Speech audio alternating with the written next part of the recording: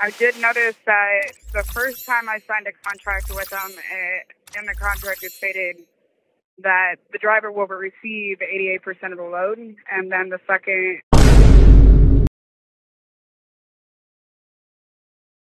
Jane Doe in the building. Good evening on this Good Friday evening. How's it going? cold, very cold. Yes. Yes. I couldn't agree with you more on that. But me being from the north, what I'm saying, the northeast, we're used to it. We're used to it. These new drivers, they they get in this game and they they they are all in shock. I'm gonna assume like if they're from Florida, maybe the shun- the Sunshine State, maybe they haven't experienced cold weather like this. But me being from the north, yeah, I'm used to it. I'm from Cleveland. We get we get four seasons You in a day. hammered. Yeah, yeah. We get four seasons in a day. In the morning, it could be spring.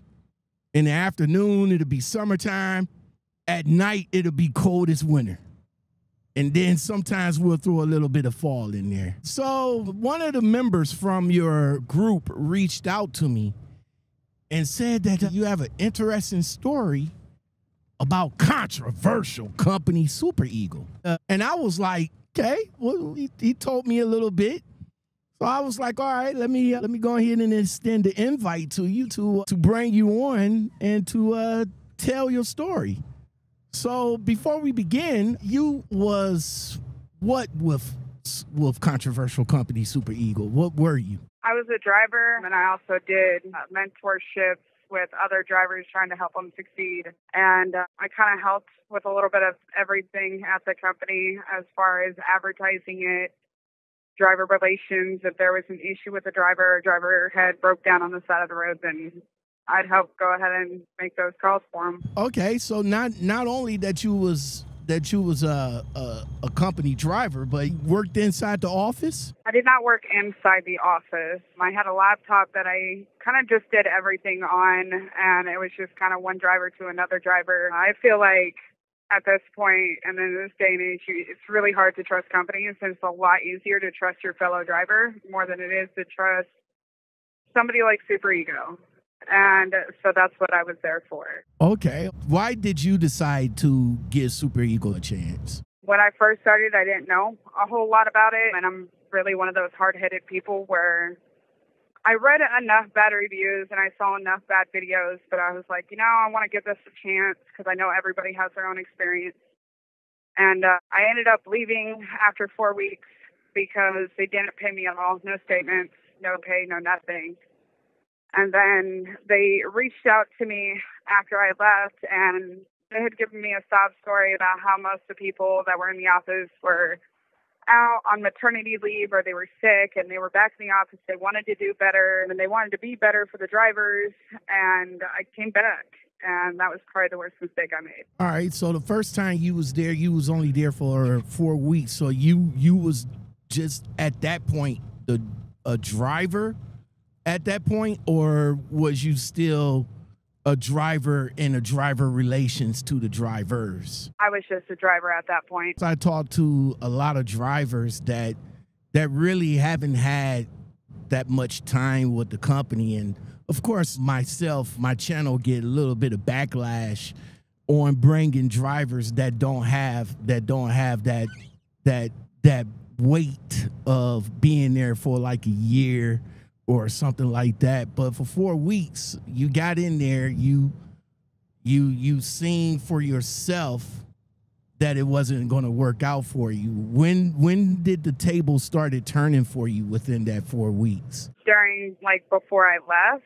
Yeah, yeah, yeah. So, I mean, I was nervous when I had already gotten there to do orientation because it's not a professional set. Nobody there really responds to the drivers professionally, and almost all the trucks have been urinated in or they have feces in them. They're just very, very filthy. So that made me nervous already. The building was set up like a refugee camp, which also made me extremely nervous. But I was told that, you know, it takes four weeks before it starts getting better. and it just it never got better. In fact, it, it got worse. I got eight dollar check my first week. I got a twenty nine dollar check my second week, and then I received no statements and no checks for the remaining two weeks before I left the first time. Okay. Wow. Eight. Eight. How, okay. Before I go into a commentary on that part, I, I know from other drivers that I have talked to that for the first couple of weeks, you you're expected not to get that much money because they taking out the the cost of the truck, the cost of the fees and all sorts of stuff. So you you running, let's say you do maybe about two well y'all y'all get paid percentage. So let's say y'all do maybe about two, three, two, three loads that should add up around maybe four thousand and then out of that four thousand the fees and everything, and you should be able to take home at least a little something. Eight dollars on the first settlement? Like how many loads did you did did you do and how much did they actually take out? I did four loads, and the total gross was seventy eight hundred. Okay. Okay. Now we talking. Okay, 7800 uh 88% supposed to go to you, right? It's supposed to. I did notice that the first time I signed a contract with them, it, in the contract it stated that the driver will receive 88% of the load, and then the second contract that I signed, it was 88% of the load offered. Okay, now I'm confused. So what do 88% of the load offered mean? Um, I I'm not really sure, but I'm assuming that it's whatever they're choosing to offer you to run that load at that point, which I think a lot of drivers it's the easiest way that these larger industries and these trucking companies kind of get us is we're in such a rush to sign these contracts and a lot of us don't thoroughly read the fine print. And uh, we get we get messed over pretty bad and it can change where you can the load is supposed to be paying say 5100 but they're deciding that they want to offer you 2500 it's what they're offering you at that point Okay. So their sales pitch is 88% of the load, but in reality, it's anywhere between 50% to up to 88%, sort of say. Am I am I correct in the saying that? Yeah. Okay, so let's get back to this eight dollar check, man. Like you you say you said the truck grossed seventy eight hundred. How was the end result eight dollars? Like what happened? So looking back, I saw that they added a lot of charges that weren't supposed to be there, and they doubled up on a lot of the charges that weren't supposed to be there. So I, after looking at it, I noticed there was a doubling up on the statements with fuel, or there was extra money added on to my fuel stops where if I stopped and I filled that for $520, my statement looked a lot closer to $580, $590. And it was just little things that they were doing there that I just wasn't catching at that point. Wow. Okay, so what was your feeling when you when you opened up your your email and and you saw that like you saw seven you, you saw seventy eight hundred dollars I'm sure you was like, wow. And then when you look all the way down to the net and what they sent to your to your to your bank, eight dollars. How did that make you feel? And I think that's a feeling for a lot of us where you know, we're supposed to be excited when we open up those statements. We're we take a lot of pride in our work. A lot of us do. Um, we keep our trucks clean, or we polish the wheels, and you know, we do little things because we do take pride in our work. But when you open up something like that and you feel sick for that very first time, that feeling never goes away. So every single time your statement hits, it's just that that gut wrenching and turning feeling. I can imagine. Okay, so I'm assuming there was a call made to payroll, and I'm I'm assuming that conversation wasn't a good conversation. So that's week one. You stayed for four weeks. So now we're in the second week. You you do it again, do a couple of good loads again. You go to open up your statement, and now you only see twenty one dollars from a gross from a gross of what? Uh, that week it was just 61. I'm honestly surprised because I grossed last week and I got paid a couple dollars more. So you did sixty one hundred and got twenty one dollars out of that. Okay. Uh, yeah, I did 6100. Okay, so so now you you must be feeling some kind of way now. I mean, you must be feeling like, hey, bro, what are we doing here? Like eight dollars last week, twenty one dollars this week, my guy. What what are we doing? What?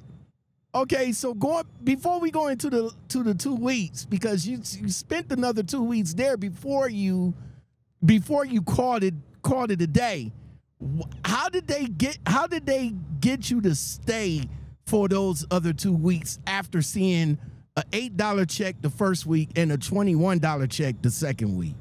Um, it was my stubbornness mostly, and it was a whole lot of them drilling into my head. You know, it's getting better. See the prices going up, and I should have used my head and realized that it wasn't going to go anywhere but I wanted to hang in there because I was told so many times that the first four weeks were the worst. That ooh, whoever told you that did not lie. I mean, eight dollars. I, I I don't know if I. I'm sorry. I'm sorry. Maybe maybe like I understand. There's probably might be some adjustments on the driver's part. Maybe maybe I fueled up too much. Maybe Maybe I got an expensive truck. Maybe, maybe that. Maybe I could make some adjustments, maybe with the fuel and everything. But then the next following week, $21, even after the adjustments, I I I I I I don't know if I could I don't think I can I don't think I would have would have stayed. I, I I probably would have turned that truck in and said, well, we tried. All right, so the third and fourth week, I, I guess it didn't get no better. You left on the you left on the fourth week. You you called them up, and what did you what did you tell them after you saw your fourth week statement, just to let them know that hey, I gotta go. I I can't do it. So actually, on week three is when I started blowing them up because I did not ever receive my statement or my paycheck, and they kept giving me this runaround. And they said, "You know what? Oops, there was a mix-up. We'll go ahead and add your third week paycheck onto your fourth week, which is how they kept me that other week." And then it didn't come, and at that point, the dispatcher had called me. I said, "Look." I'm not taking any more loads. I'm done. I'm going to another company. I have things set up. Come get your stuff. And at that point, it was nonstop threats. We're going to have you arrested. We're going to do this. We're going to do that. I said, well, turn on your fuel card and I'll bring the truck and the tractor back to the yard. We're not doing that because you're going to steal fuel. Okay, well, then you need to come get your truck and your trailer. So at that point, I actually left it at another company that I went to, which is their competition company, and I didn't know that at the time. So they retrieved it, and then I kind of spoke to a few people about what was word of mouth just kind of got around, and people from the uh, HR department started reaching out to me and asked me, you know, why did you leave? What happened? And I got in a heated discussion with them, and I told them that it was very upsetting because so many of us have kids and we have spouses and we have responsibilities. And not knowing whether you're going to get a check or not is a big problem. Not knowing whether you're going to be able to eat or not is a problem. And I was that driver that couldn't eat. And I was that driver that wrote on a cardboard sign that I was hungry. And I sat on the street corner waiting for somebody to help me eat. And I expressed how upsetting that was and how degrading that was and how embarrassing that was. Because if I'm working in an 18 wheeler, I'm working in one of the highest paying careers there are, but I'm still holding a cardboard sign begging for people to help me eat. And they promised me, they said, Look, you look very passionate about helping other drivers. You know, that's great. We need somebody like that. You know, and they offered me, they're like, Well, why don't you do this and you help us clean out the bugs and you help us make the company better and work with drivers. So that's what I did coming back. Okay. Okay. Okay. Coming back. Okay. So where did you leave the? Tr- well, that's another issue too. I'm on the side of of the driver and on the side of the company. They'll they'll turn off the car for fear of a driver to. Uh, if that driver felt like they doing the wrong, of course they're gonna they're gonna retaliate. And what better way to retaliate than going to a truck stop and be like, "Hey, bro, I, I give you about two, three hundred dollars of fuel for like a hundred and fifty. Yeah, a lot of us, the best form of retaliation because Super Ego has such a high turnover rate and they have so many people coming in every day. The biggest sense of pride and retaliation that we could possibly do as drivers is returning our trucks full of a lot full of brand new drivers and expressing why we're quitting. But some of us never get that opportunity because they shut off our fuel cards. Well, they trying to stop y'all from from coming up in there to to, to, to give you guys uh, to give you guys opinions on the company to the new drivers. They doing that for real, for real. Like, I mean, they they literally don't want disgruntled drivers coming back to the the office for fear that they would disrupt the new drivers from coming on. Yes, and they take that very heavily now. They will shut off the fuel cards and make it to where um, they are very, very quick to have somebody's trailer and truck picked up, and that's just so we won't come back to the yard. Wow. It's been done a few times where drivers that were quitting came back to the yard, and they detoured about a hundred drivers. Wow. So that's like, that's like, hey, bro, hey, where, where are you going, sir? Hey, I'm about to take this truck back to the yard. Hey, we need you to go that way. Go this way, man. Hey, my man, go this way, man. Go that way, man. No, man, go that way. Go this way, man. Hey, my man, go this way, man. Go that way, man. Uh, don't go that way. Go that way. Go this way, man. Hey, my man, go this way, man. Go that way, man. Y'all niggas don't seem to understand me out here, B. Yeah, but I'm I'm I'm returning the truck. Yeah, we we got we here. Go over to go over there and park it over there.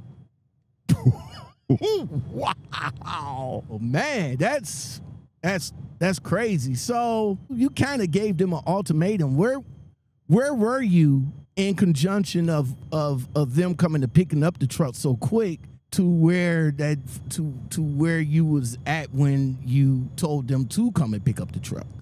Um, so initially I was going to leave it at a Love's truck stop in a parking spot. However, that truck being my only form of transportation to and from the new job that I had started also in Chicago. It turns out that company didn't have too many nice things to say about Super Ego. And I needed a safe spot to put the truck. And I said, hey, so can I park it here till somebody can come pick it up? It's gated.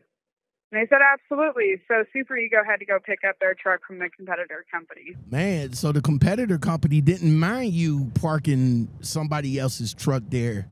No, absolutely not. They actually said it was a pretty regular occurrence. And they didn't do anything to the trucks, they didn't tamper with the trucks.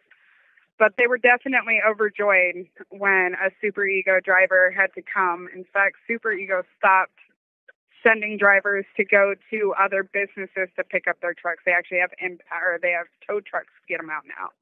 And then the tow trucks will tell them to their tow yard, and the drivers will go pick them up there because when drivers go to pick up the trucks from the different companies, they start asking questions. They like a different offer better, and then they lose one of their drivers.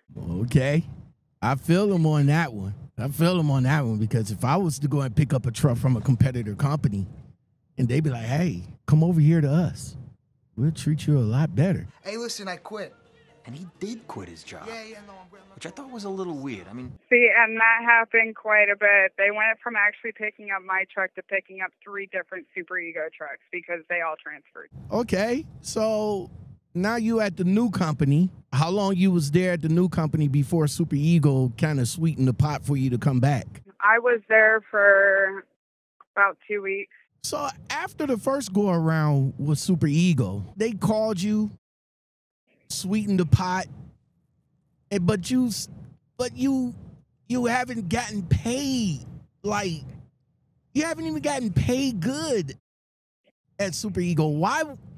Why would why give them the benefit of the doubt to go back to them again? So my biggest thing was thinking that they actually wanted to do right by the drivers because when they had contacted me, They had physically looked up at the money that I was missing, and then they did pay me those two weeks that I was missing. And they paid that by EFS check. They did that up front before I even made the decision to come back to the company. Okay, shout out to them for doing that. Okay. So you you bounce back to the company, but this time as a not only as a driver, but as a what, what do you call it? Driver assistant. Driver it was driver relations and I was also a driver advocate. Okay. And all of this is on paper at Super Ego. Yes. Okay. So not only that you was getting 88%, but you was also getting paid directly as an office worker as well. I was not getting paid as an office worker. No. They had originally told me beforehand that they wanted to compensate me for doing that. One, I never heard back. And when I did, it was at a point where I had heard, I had really built some strong relationships with these drivers. They became family, and their families became my family. And it didn't feel like something I should have been paid to do. So I declined payment, even when they did offer it. You did what? I know. That's on me. I declined. I Did what you had to do. No, no, ma'am. No, ma'am. No, ma'am. No, ma'am. You you you working at a multi-billion dollar company. You you you don't do nothing. Correct. You you don't do no favors. Fa- favors is only it done. wasn't. Fa- no, no. Favors is only done when you're a new driver, brand new driver, don't know nothing driver. Don't don't know what, You don't what to do, do driver. then. Right? Yeah, that's true too. But you, you when you coming in, you're a new driver. You you you want to get on the good side of a dispatcher, and the dispatcher be like, "Hey, can you do this favor for me, and I'll look for a longer load for you." Of course, that driver gonna be like, "Yeah, yeah, yeah, yeah." But no, no, ma'am, no, ma'am. Especially So if they called me, if they called me to go do recoveries, I wasn't doing that. But it didn't feel like I was doing any favors for the company directly. It felt like I was doing favors for the drivers. okay, oh, granted. If you're good at something, never do it for free. How much you want? Uh, half. We're we're not doing nothing for free. No, not for no no.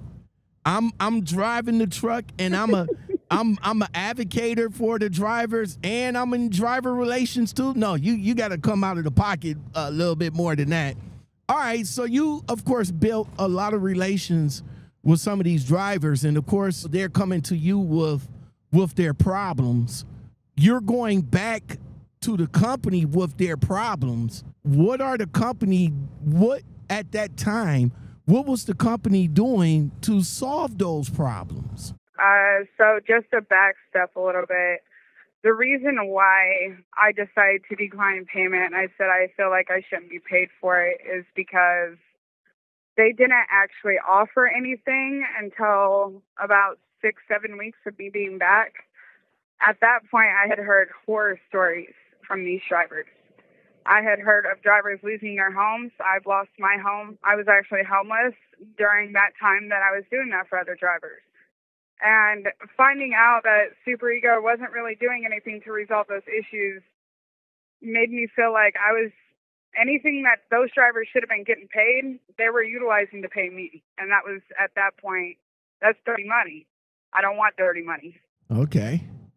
So now, how, how are the payment? Well, how are the settlements now? Because you're back, you you stayed by the sounds of it six weeks or so. How was the settlements looking then? After your after your second time around, They were looking a lot better. I spent close to a year with that company when I came back, and they were they were definitely looking a lot better. I was I was happy with the rates. However, I thought what I was getting, everybody was getting, and over the months, these last few months, I realized that that's not exactly what was happening. The things that I was seeing and they they used to tell me, you know, you you get special treatment because you do so much good for this company. But I was treated horribly at that company. I was verbally abused all the time. I was called names. And my pay was always threatened against me if I didn't speak positively about the company. And instead of handling these issues with drivers, which is what I wholeheartedly expected them to do, they just wanted me to delete the problems and silence the drivers. So these issues just remained unsolved and it made it to where drivers were losing their homes. Some drivers ended up going into a divorce with their significant others because of the stress they couldn't take it. And they were taking that anger out on their loved one. It caused a lot of issues and Super Ego destroyed a lot of homes very quickly. Man, this is crazy. So now a year a year in with the company uh, is starting to go back downhill with with you yourself being threatened like i mean what was some of the what was some of the threats if if you're able to talk about it I can't say what all was actually said, but they were life threatening. I um, mean, they were very, very upset and very adamant that I was going to take down my page and I was going to silence drivers. And if I didn't, then there was going to be repercussions. Man. Okay. Now, is this all while you was there? No, the duration that I was there, the last six months, is when they started getting very vindictive and very malicious towards me. And that was just because I was went from not having a voice to trying to find my voice again. And, you know, with them telling me what to do, I obviously came back with questions of why delete the problem when you could just solve the problem and not hear about it again? You know, why don't you just fix the issue? And then it was, well, fixing the issues is going to cost us too many money or too much money. And then that's going to cause us to less on a few things. And, you know, we have a certain way of how we do things. And one thing that they would always tell me is these guys are having issues because they came over with a company driver mindset. You cannot become an owner operator with a company driver mindset. And that was drilled into my head for a while. And I had a experience while helping somebody non-related to the company, but somebody had gotten stuck. And uh, I had used my truck trying to pull them out of the mud because it was just really bad. It was in New Orleans. And anybody that's been in New Orleans knows that when it rains, it rains. It floods, it gets bad, it gets dangerous, it gets life threatening. So we were trying to pull him out and he we I didn't have any chains, he didn't have any chains. So he brought out some tow straps that he had and was just a little hot shot driver. And I spent about an hour and a half trying to pull this guy out and I watched this tow strap snap and we tie it together and it would snap again and then we tie it together and snap again. And this went on where we just kept retying it and nothing worked. And it got to a point where I was like, hey, man, I'm sorry. You know, you're going to have to call a record. You're just too far into the mud at this point, and I got to head out. And when we headed out, I had asked my husband, and I said, Did he by chance offer you anything at all? Or did he tell you kind of like more about what he does? And he said, Nope, not at all. I said, Okay. And I was like, Well, that's fine. But after sitting and thinking about it, I talked to one of my really good friends who also used to be with the company Super Ego. And he said, You know, it's kind of like what you're doing right now. And I said, What are you talking about? He said, It's kind of what you're doing with Super Ego. They're tying the rope, it's breaking, they're making you try it again. It's the definition of insanity. They're using you. They're not paying you for what you're doing. They're not even paying you for driving. And it made a whole lot of sense and it kind of cleared my head to see that the things that super ego makes look normal are definitely not normal. Man, I'm I'm I'm sorry to I'm sorry to hear hear all that was going on. In situations like that, let's say if a truck driver gets stuck, let's say he's off in the ditch and he needs to get wrecked out or tow, is that is is that coming out of his element? It is. Wow. So so everything pertaining to the truck is the driver's responsibility. Correct. So if the trucks are are crap, like some of you guys say, how would you guys be able to pick out a good truck that would that would at least give you about six or seven months of no problems in in in making money? Um, so a lot of us do it different ways. Some of us go with the newest trucks on the lot that we can get. and try to stay away from the older ones. Some of us go with how clean the inside of the truck is. They Super Ego does not let us test drive these trucks, so we have a lot to do this on. And if we can figure out exactly what issues are wrong with the truck before our wheels hit right outside that threshold, that main street, that public road, every single thing that happens, we could roll straight out to that public street and doors could fall off and our hoods can fall off and super ego's going to laugh at us and say we'll fix it don't worry it's on us but then it comes out of your statement So it's probably my best to get a mechanic to go with you to uh, to overlook the to overlook the trucks to, eat, to, to give you a a little bit of stamp of approval. and sometimes that's not good enough. Myself and my husband we are both diesel mechanics. We are certified and we specialize in diesel mechanics and my first go around i can't tell you that there is absolutely zero way without test driving that truck had i known that it was going to have as many issues as it did What about the second go around? What did did you have? What, what kind of issues you had the second go around with the truck? Um, none. The only way to actually have a cheat code to get a perfectly good running truck is it needs to be the brand new truck with little to no miles on it and it needs to come off the dealer's lot and it needs to be basically what they call rescued. Those are the more I'm going to assume the more expensive trucks as well. Are those the are those the money down trucks? Uh, some are, some aren't. So the 2024s, I don't know why they're telling people it's 5,000 down. It's not 5,000 down. I did not have to put 5,000 down on my truck. There's about 30 more drivers that I could tell you that also got brand new 2024s straight off the lot. They did not have to put 5,000 down. Fleet managers said that the only reason that we're getting these trucks for zero down is because the 2025s are coming in but I did see that they're still advertising 5,000 down on the 2024s. Okay, okay. So you got a little bit of the inner workings of of controversial company Super Ego. How I know they got like multiple well, I call it multiple shell companies. Of course, Ego is the holding, but there's multiple companies up under it. Companies like Rocket, Jordan, Time, and several others. Being that you had like a little bit of inner workings with the company, how many shell companies are they running all together? Approximately 12. Or the names of them? I know most of them. I don't know all of them just because I know that they are actively in the process of having to shut down some carriers just due to their numbers being so bad. And so many brokers won't work with certain carriers over there now. So there's TriTime, there's Windy City, Jordan Holdings, Expedited Holdings,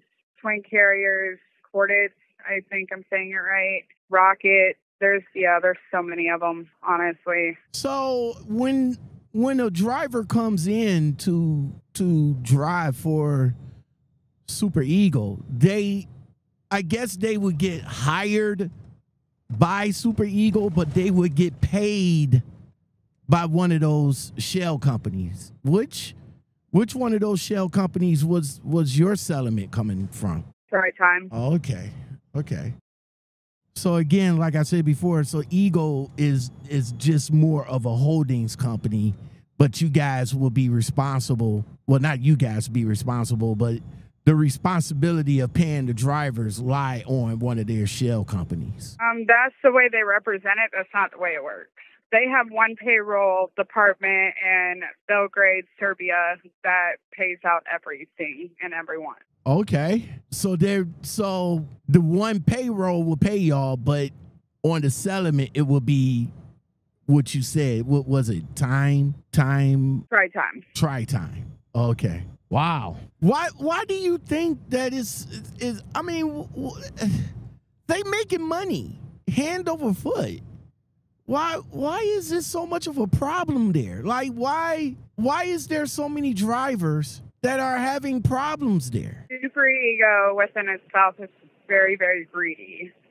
And they distribute all these carriers and all these different DOTs to different drivers because most of the time when you're suing a company, you're suing that company. So if I were to sue and I didn't know what I was doing, I would sue TriTime indirectly. Now let's say I won.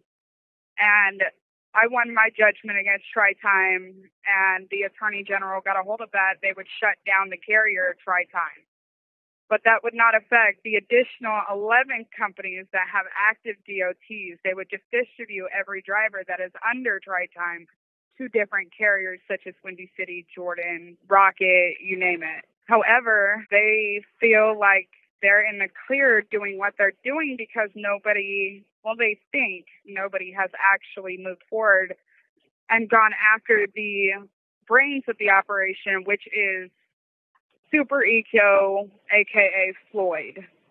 And they're going to find out very quickly that that is not the case. There's over 1,500 drivers that are going after Floyd itself. Okay. Again, we're back to the inner workings of a controversial company, Super Ego. We already touched on uh, a lot of subjects with this company. Uh, before I get to the most controversial subject of the company, what about the company? What about the drivers that claims that they're winning with Super Ego? Like, I mean, there's there's a there's a handful of drivers that that make some bold statements that they're actually making money, they're making good money, and they're not having they they're not having no problems with controversial company Super Ego. They just wish that all the all all the subpar drivers they they just wish that they just go somewhere they just go away have you came across any of those drivers that's that's actually that's actually being successful with the company and if so what what what are they stories like so i was one of them and uh, i i was one of those people that made bold statements and i really really did not want to but it was at a point where i was homeless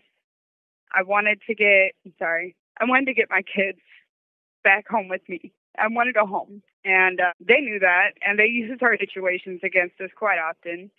And they threaten our pay. And the reason why we're getting better paying loads or quote unquote special treatment is because we're freely advertising the company. And these are not statements that any of us really want to make. And there's a lot of us that were telling drivers the actual truth. We were just doing it through private message, trying to give those drivers a warning of what they were going to get themselves into. In my opinion, nobody actually is successful with super ego. I think it's as long as you're under their microscope and you're saying what they want you to say and you can't be who you want, you're not successful and you're absolutely miserable throughout the entire process. So these drivers that's claiming on these super ego videos that they are happy with the company that they making money with the company will it be safe to say that they are paid actors they're not getting paid to do it but they are having things held against them to do it. If they don't do what Super Ego wants them to do, they get threatened. Okay, okay. I don't. Ah, jeez. I know a lot of these, a lot of these drivers that comes in, and I know a few of them that gets not with just controversial company Super Ego, but I I know when they come into like new companies, that company will turn around and be like, if you have a large social media following, if you have a large YouTube page or a large TikTok page, they they would they would tend to be a little bit more lenient with them because of the fact that they have that large audience and super ego can leverage that i mean do i mean do they do they suggest that in in orientation suggest what like do they do they like kind of ask you like, hey, do you have a, a social media page or a Facebook page or a YouTube page or something like that? Do do they know that you don't do that? But they don't do that through orientation, but they will reach out independently. I know that they are offering drivers right now an incentive to do that. They are telling some YouTubers if you make videos about the company and if you can prove that you received a thousand views, we'll pay you five hundred dollars. Super Ego, I need y'all to reach So they are me. paying people. I'm going to. There's and some of these drivers, most of these YouTubers, either A, they're not truckers, or B, they have a very, very, very hefty background that can be used against them.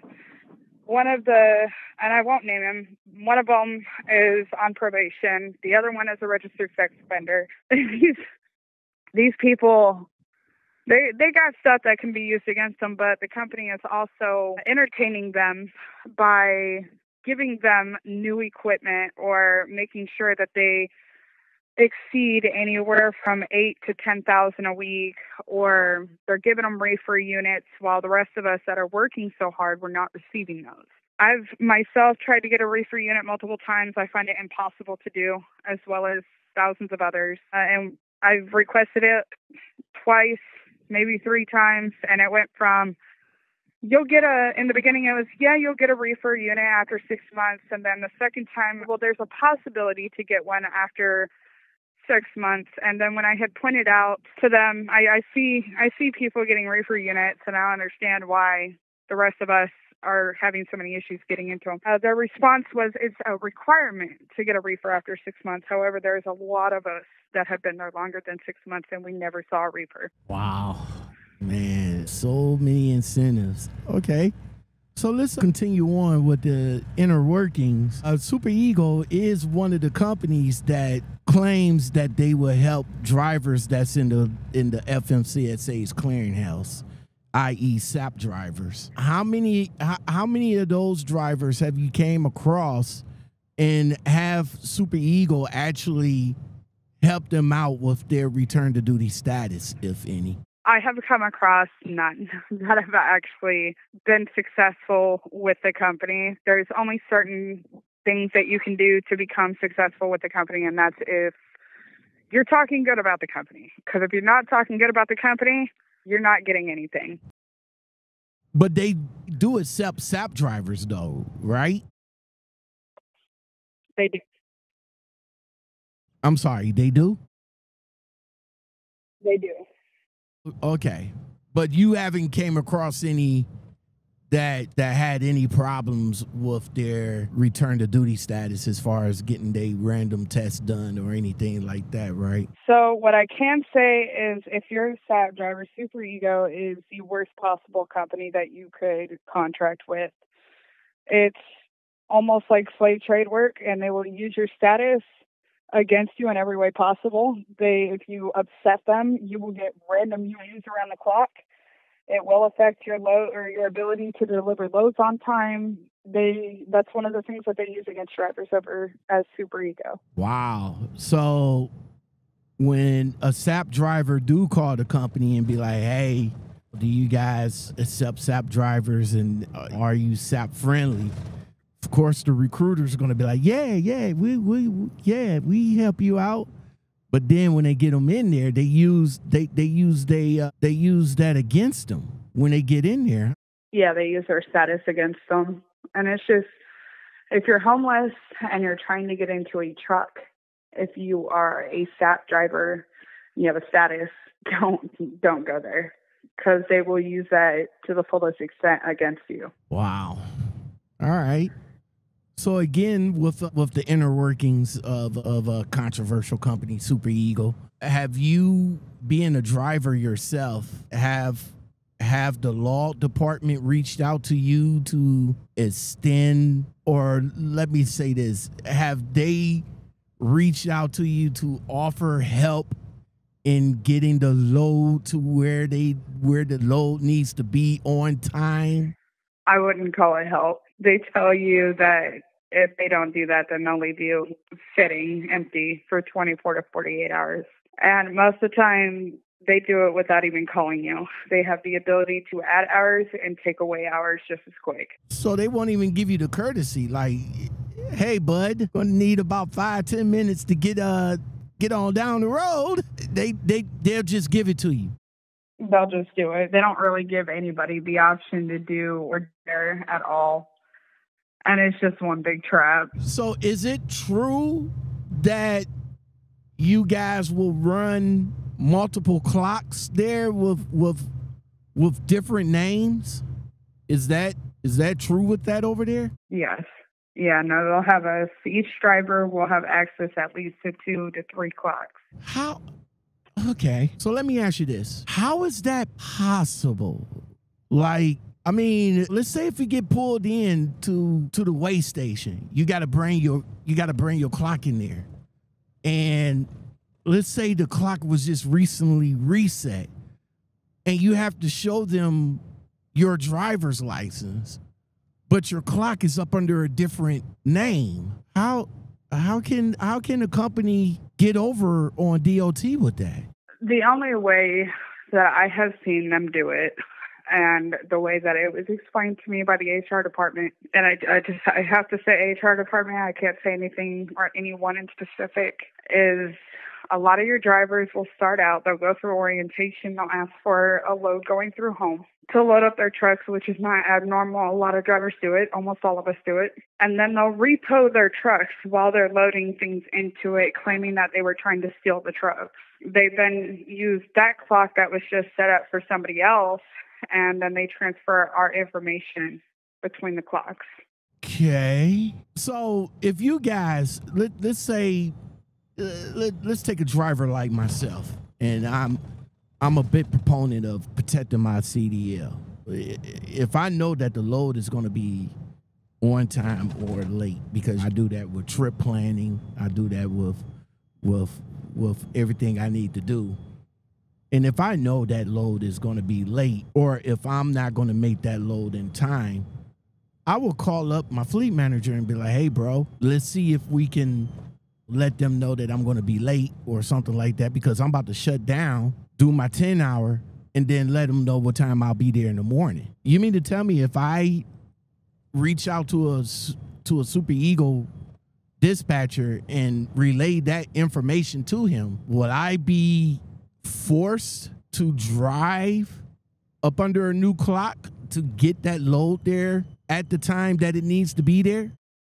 Nine out of 10 times, yes they if you try to uh, tell them that you need to rest or that you need a 10 hour down you'll you'll be greeted with a whole lot of we're going to lose this contract with the broker. It's going to be your fault. It's going to go under your MVR it's it's a lot. And then a lot of us just end up giving up and saying okay because they'll threaten to leave us sitting after it or they'll make comments very discreetly stating okay well when you get this dropped off i don't know when i'm going to be able to get you loaded again because you're in a bad area. Now I heard of a lot of drivers say that. They'll get a they'll get a good load going into a certain area, get it there on time, yada yada yada. But then when they're in that area, they're be they being treated with subpar loads or subpar rates and all like that. And you guys be like, no, I'm not taking that. And then they force you to sit for a couple of days until you turn around and be like, man, okay, yeah, get give give me that load so I can at least get out of here. That's still going on there? It's still a very real issue of super ego. It's super ego's personalized way of retaliating against us drivers without making it obvious. So again, with all of this is going on, and and again, Jane Doe, thank you, you know, for coming on and sharing your story. But with with all this is going on, I mean, uh, it goes back to the question of why are these drivers calling themselves trying to give Super Ego the benefit of the doubt? I mean, we hear we hear all these stories. We we hear we we see the reviews, we see the groups, we see the comments, we see the pay stubs. We see it. Why why am I still going to give Super Ego the benefit of the doubt? Why? Why why would I do that? Ta, ta, ta, Let's not blow this out of proportion. You think you could steal from us and just walk away? Yeah. If You're hard headed. You want to have an experience. You want to see if you can prove anybody wrong. You want to be able to say, hey, I did it. Look at me. And from what I'm going through now, it's not worth it. It's not worth that. Hey, look at me. I did it. I accomplished this because there is no accomplishing anything as super ego. You will miss your children's everything while working there. My brother passed away. They wouldn't even let me go to his funeral. Another coworker missed the birth of his child. Um, you will get so wrapped up in that competitive behavior of I want to show people that I can do it because I saw so many people fail that you'll ruin yourself in the process. That's why people still go there. They want to be able to say, "Hey, look, I did it." From your from your little bit of time of being there, from being a driver, from being from seeing the inner workings and everything like that, have you seen any drivers that would that would come and actually debunk debunk anything that you said here tonight? Like say it's lying. Well, say like like somebody will come in and be like, yeah, okay, yeah, I, I don't believe her, yada yada yada. Do you feel that anybody there would would debunk anything you had said tonight? Absolutely. Absolutely, 100%. Because those drivers are being offered exactly what I was being offered at one point, and they don't understand that there's no special treatment there. Nobody gets treated any type of good. Everybody gets treated like garbage. I've seen racial profiling going on. I've seen discrimination go on. I've seen them talk horribly about other drivers. There's no contract to confidentiality, it doesn't exist.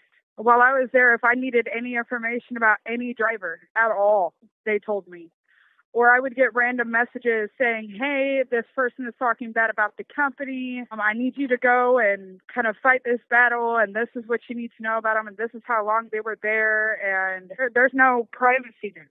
I, I see what Super Ego is doing.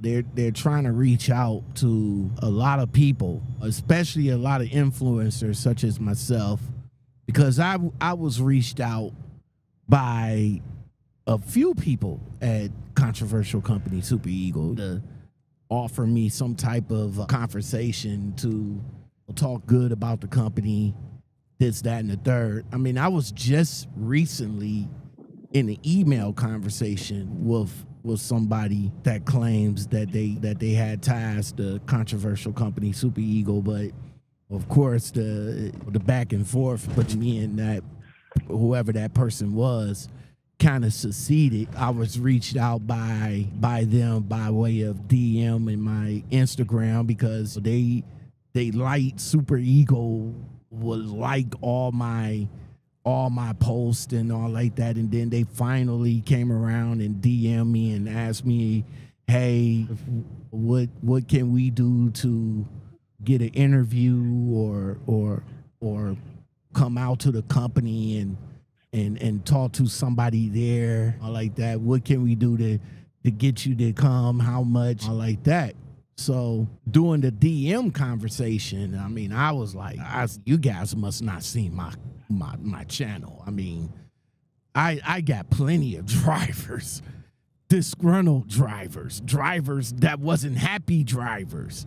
I I probably got maybe one, two at the most that uh, that that talks good about the company, but majority of them, well, they got some horror stories. Like, so I'm like, you guys must not see my my my channel. Are, are you sure you you looking at my channel? the the offer me me out of all people to come there and and and try to show what's what's what's could be good for the company, I guess. I don't know. I mean, during the DM conversation, I I kind of like turned them down, but during the email conversation, I was like, "Well, hey, you give me the same amount of money that you gave the other YouTuber, then yeah, maybe I might just come down there and pretend that I'm going to a basketball game and and and say that I just do a pop-up over here. I'll do that, but I'm not gonna I'm not gonna cookie cut my questions because I'm sure they'll probably bring me in the office and be like, well, before we go on camera, we want you to ask this questions and all like that. No, no, no, no, no, no. I'm Do you ask these questions because you want to know the answer? I'm gonna ask the hard hitting questions like, why are you guys have a lawsuit? Or Why you guys this, that, and the third? Why 90% of the drivers feel some kind of way? Those the type of questions that I'm gonna ask. Are you Those sure? are the type of questions they don't they don't want you to ask those questions. You're Right. They will pull you in the office when you get there, and they will tell you only to say certain things. They've done this with about three other YouTubers that had major platforms, such as yourself. They've got in there and they completely changed everything when those people got there and they said, Hey, this is what you're going to say. I wrote out a script. This is what I need you to do. And if you say, eh, that wasn't a part of the agreement, wait, I, I could pull that up right here. This is what we're going to do. They're going to say, that's not what we're paying you for. And if you're not going to do what we're paying you to do, then you're going to need to leave. See? See? I, I listen, I know. I believe I know. I know. That's why I said if you're gonna it, see the thing with me is because see I I and I'm just speculating about other YouTubers that did that did a expose a controversial company Super Ego. I'm I'm sure that they was paid. They they must have been paid a, a, a a significant amount, especially by putting the company in a good light, a very good light, I should say. And they probably got compensated well. Okay, but like I said, during the DM conversation with me, they was offering, they was lowballing me. Like, hey, we would give you X amount of dollars for the conversation. And I'm like, are you sure you want me? Because like I said, the first time I reached I reached out to you guys was like a couple of years ago when I did the when I did to make the call, but that was because I made the call. But now you're you you you became instead of super ego at that time now you became controversial company super ego so yeah i i want to get paid. And like i said during the email conversation yeah we we we we, we was talking like dollars. But like i said i would get in into the office and they'll be like okay well we want you to ask these questions or talk to this particular driver or talk to that driver or or we want you to say this about the company. No i no i'm not no i'm not going to do that. It's me me lockout men. You me. The- I, so yeah i guess uh, That's what they do there. I guess I would. I, I I guess they would have to escort me out the door because I I I'm gonna be like, hey, bro, hey, how they treating you over here, my guy? Talk to me. Tell me the truth. don't don't do the security guards don't do them there's been several reports of one of their re- or security guards being extremely racist and racially profiling on one of the drivers he did it to and I was absolutely okay with somebody doing that to me, but what I wasn't okay with was there was a gentleman there who was in the Marines and he was honorably discharged. And this guy was racially profiling him so bad. And I, I lost my father in 2003, and he was a master gunny sergeant in the Marines for over 25 years. I have a very special place in my heart for military, especially the ones that are willing to risk their lives and do that. But they they don't care about us.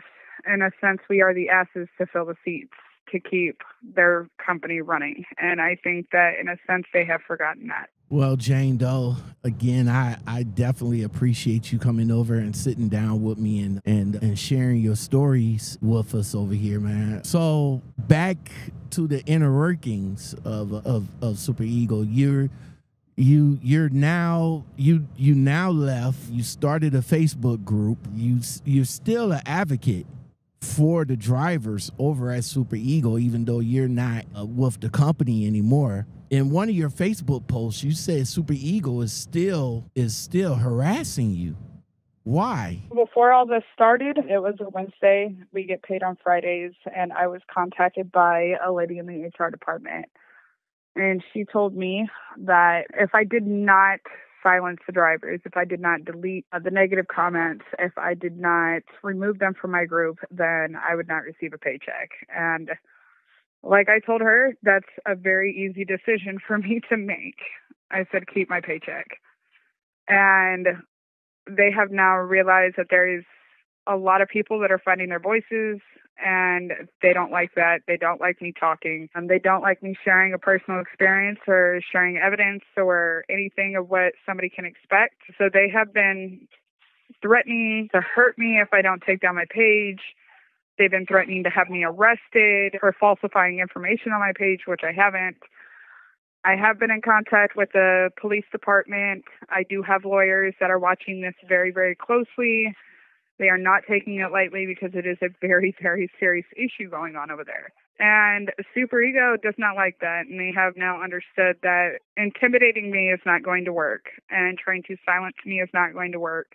So they're now starting to do what they do to just about everybody they don't like. They're threatening, no, I'm going to call the police. I'm going to have you arrested. The one that I received today was that they were going to arrest me for the theft of my truck. I don't have my truck, which I actually have them on recording admitting that they have both the truck and the trailer already. I've had somebody tamper with my seal. They had busted the seal. They did not want me to let the broker know that they had busted the seal on the trailer, which legally I'm obligated to let that broker know. And I did. They are very, very, very upset with me right now because I have, according to them, I have costed them a lot of money. So the second go around you left, where where did you leave the truck at this time? So originally the trailer was left in Missouri. I had to run home to deal with an issue with my child. For a lot of people that know me and know my children. I have a very sweet four year old, but he is a nonverbal autistic child and he has meltdowns that are, yeah, I see it. They're absolutely terrible. And I needed to rush home to deal with that. I was close enough. And uh, when I was heading back, I had realized that once again, they shut my fuel card off. And that's when they informed me about the seal. I said, I asked them, I said, why did you have another driver go to my equipment and tamper with it? And he said, Well, you should have answered your phone the day prior, which I was at the hospital with my son the day prior. Yes. And I said, Okay, well, they said, Well, you're going to be in a lot of trouble. I said, You guys are going to be in a lot of trouble because what you guys just did was a felony. You guys cannot break the seals on people's trailers simply because they are not answering their phones. Um, since that occurred, they're claiming different people in the department are claiming they never got their tractor unit back. And every single time they message me or they call me now, threatening to have me arrested or threatening to have me hurt because I have not shut down my page, my response is the same each and every time. Anything that we are going to go further with, I will have representation. I will contact them. All right. So the so the trailer is in Missouri. The the card is shut off so where did you park? Where did you finally park the truck? The truck was left on the side of the highway, almost to because I was trying to fuel up. So it was Indiana and Illinois border, which I had told multiple people about that, and they had confirmed that they had gotten the truck, but now they're saying that they never got the truck. Wait, wait, wait, wait, wait, wait, wait, wait, wait, wait, wait, wait, Jane Doe. Hold, hold up, hold up. You on this on a literal side of the road. Like you're on you you on 280 what is it 285 you on 285 you on 55 you in illinois you on 80 you you pulled over to the shoulder and and and left the truck there? That's what i'm hearing? Like there. Yeah, i didn't have any fuel to go any further you did not have no fuel so you ran out of fuel pulled over to the side and uh, of course, I'm sure you had your peoples to come and pick you up because I'm sure you wasn't wasn't like gonna stay there off, off the side of the road trying to beg them to turn the car back on. But you told them that so the initially, truck is when. I asked them to, when I told them to turn the car back on, they knew where I was. I was at a, a truck stop. I was at a one nine, and they refused to turn it on. They kept giving me the runaround. I told them they kept demanding that I go back to the trailer that part I understand you guys wanted me with my trailer, but the only way I'm getting back to my trailer is if you turn on the fuel card. That they decided not to do. I ran out. I told them that I ran out. I told them where I was at. Um, I did not receive a response back. I at that point called Highway Patrol and I notified them that I was going to have to leave that truck there. Whether they had it towed or impounded, I don't know, but I can tell you that the state of Illinois and the DOT officers out here do not like super ego. I can imagine. So you called you you called state troopers, so they they came over to assist you to where you need to be. to get somewhere safe? State troopers are the ones that actually transported me back to the truck stop so that way I could be picked up by my husband. Wow. So you did let them know, like, hey, the truck is right there on I on I whatever, and then that's it. I mean, they they they wouldn't even give you the they wouldn't even give you the courtesy to turn the truck, the fuel card back on, so you could at least get back to the trailer. You going back to the trailer? You going back to the trailer, yo? Yeah. When they told me that the seal was tampered with, my response was, and I was very hostile. I was very upset about that because it is a felony to do that. It is a felony to tamper with somebody else's equipment. I told them that my next steps were to call the broker that I was in direct contact with, let them know, and I was bringing the police with me to have an investigation done. Granted, I did call the police. Um, I mean, by the time they got to the truck stop, the police alerted me that the trailer was no longer there, which obviously caused concern. And then I was told by the broker that they had repowered the load and that somebody else had already picked up the other load. So they picked up that trailer before a formal investigation could be done on it. Okay. Wow.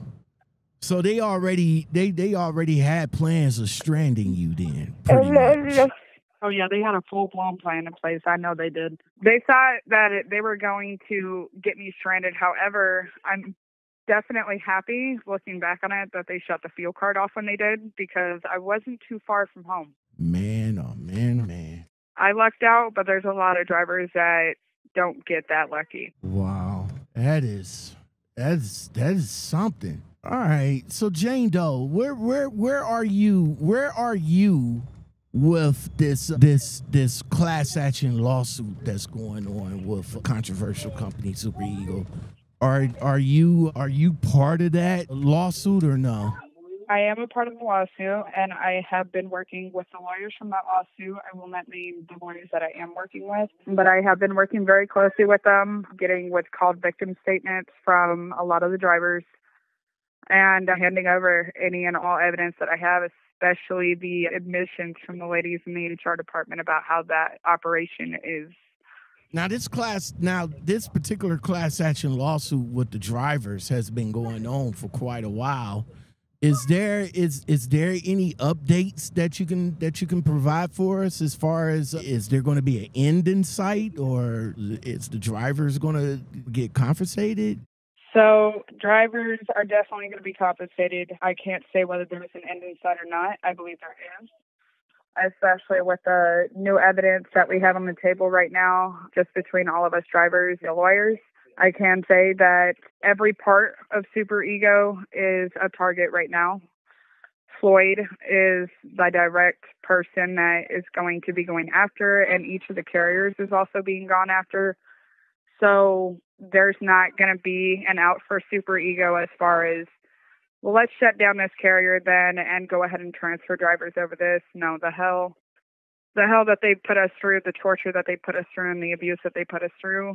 I'm very, very hopeful that there is an end near. Okay. Okay, drivers. There's there's a there's there's an end coming for you guys. Hope, hopefully uh, hopefully you guys will be will be happy with the with the with the settlement. Man. Man, I awesome conversation, Jane Doe. Thank you very much. I mean, this. I mean, this. This is. It's. This is eye opening. This. This is eye opening. I mean, it's. Uh, I mean, wow. I mean, hopefully after after this, maybe, maybe new drivers that's that's thinking about going to a controversial company, Super Eagle, would would listen listen to this this episode right here and and probably say, hey, maybe, maybe I, maybe, maybe I should not go to Super Eagle. With that said, what companies in Illinois will will be will be an alternative? Because uh, it, it seems as though a lot of the quote unquote mafia, mafia out there, they they all work on they all work on the same how can i say this? The same correlation. 88% of the load uh, lease purchase uh, no money down $3000 a week. I mean it seems as though that's that's that's the the criteria of of the black ops companies out in Illinois, but what out of all of that, what would be alternative to controversial company Super Eagle? Like, what would be the company to go to other than controversial company Super Eagle out in Illinois? With my research, talking to different drivers, looking at reviews, so far the only company that I've actually found based out of Chicago is a company called MN89. Um, you get the original rate comes there. You gotta you get to talk to the brokers a little bit more transparent. You get a fuel surcharge back. I mean, obviously, if you can avoid going to companies in Chicago, you probably should. Probably not a bad idea to just avoid it altogether. But MN89 does actually have some good perks to it. So M N M as in Mary, N as in Nancy, 89 out of Illinois. You you would you would recommend that company over controversial company Super Eagle. any day, any day. They're much more transparent over there, and it seems as though they actually care about the drivers over there. Well, there you have it, drivers. M M as in Mary, N as in Nancy, 89. Now listen, hey, drivers, listen, if y'all have any stories about MN MN 89, uh, leave, it in the comments below. We'll, we'll we'll talk about them too. But but for right now, right now, Jane Doe is recommending MN 89. All right. Well, thank you very much, ma'am. I do appreciate the time, man. That's that's the baby in the background. Yeah, that's one of my boys. My my sister, her her child is is autistic. Being a truck driver, being being a female truck driver, being a mom truck driver, being a truck driver of a special needs kind of special needs kid, how how hard is that for you? It's easy up until you got to realize how long you have to be away from them. I think that's for both mothers and fathers. Once you realize that you actually have to be away from your children for so long, that's the hardest part. We're out here and we're making sacrifices to take care of our families at home, and we're just being taken advantage of in the process of doing that. We're wasting time with our families. You said earlier in our conversation that that your son had had a meltdown and being a brother of of my sister, my nephew, he has epic meltdowns. So I I understand where you coming from when you when you mentioned that, um, and you had to go home to actually calm him down. Being away from him is is hard emotionally, but of course you mentioned that you got your husband, so your husband is there to to help out. But when but when your son gets to that point of needing his mother, how how do you handle that over the while you are over the road? Do you do like video chat or something like that so that your son could see you or something like that? We we do a lot of FaceTime calls. I sing to him every day. But my son, when he has a meltdown, it gets really bad. And this last meltdown that he had, which was why it was so much of an emergency, is my son had actually got upset enough to where when he hit his head, he busted it open. He required six stitches. And that's part of the reason it was so extremely urgent for me to just stop what I was doing. Nothing else went through my head. I just need to drop my trailer. I'll be faster. And I need to get back to my boy. And that's what I did. No company comes before my kids. Facts. At that point of doing that, when you was letting them know, because I, I'm assuming this is a time where where you had to drop the trailer and hurry up and get to your boy, and and you telling the dispatcher that, what what is the pushback from the dispatcher like? They they they they giving you the I don't care speech or the the the the, the freight is important speech. Like you have a family emergency. Like yo, I I need to get home. Their immediate response was that I was under a load and I needed to get that there before I went home. Oh no, no, no. Which that that doesn't work for me. If I if I call you and I tell you, hey, my son busted his head open, he's got an emergency, going to take my son to the hospital and meet him at the hospital, that's not up for negotiation. That means I'm giving you a friendly little hello. I'm going to be out of service at the moment. this is what I'm doing. This is not me asking permission. Facts. That that's that's a negative for me. I if my mom's and and my son, if anything happens to him, I I, I gotta go. I I gotta be there.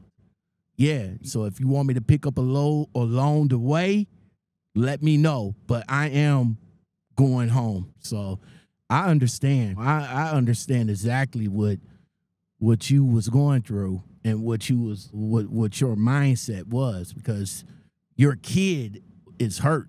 You, you I'm I'm sorry. I I'm uh, look, let me drop this load. All you have to do is call, get somebody to repower it, or call the the the the place, say, hey, one of my drivers has a family emergency. We'll, we'll work out a way into getting the load to you. So, but right now, our our focus is on the driver. And it seems that not only controversial company Super Eagle, but it seems that a lot of companies don't seem to have that focus. They they say they they say that in their sales pitch. They treat you like family. They they they know you by name. They care about the driver. But uh, do you really if if if something goes down like in my situation or your situation, do you guys really care about us that much so we can go and see if our families is okay? This company, if you tell them you have to go home, they'll send you an opposite way or they'll tell you they can't find anything going home.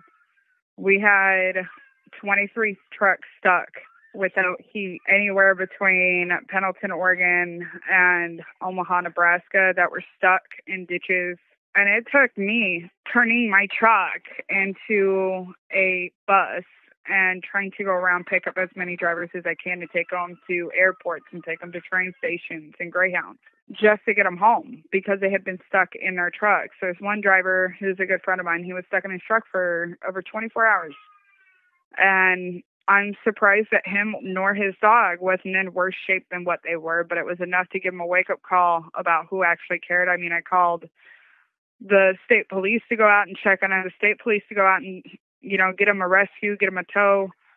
And it wasn't until after everybody was out of the snow and finally just said, screw it, we're going home, that the company was like, oh, are you guys okay? Oh, I'm glad you guys are all right, but here's your next load. Here's your next assignment. No, we're not taking any more loads. We're going home. We're done. We're absolutely done. What we had on our trailers, we were going to deliver, and then we were going home, and we were done. And it's been nonstop. It's not just me receiving threats. There's a lot of drivers receiving threats right now I can't speak for all companies, but I can tell you that there is a lot of companies similar to Super Ego that just does not care about us.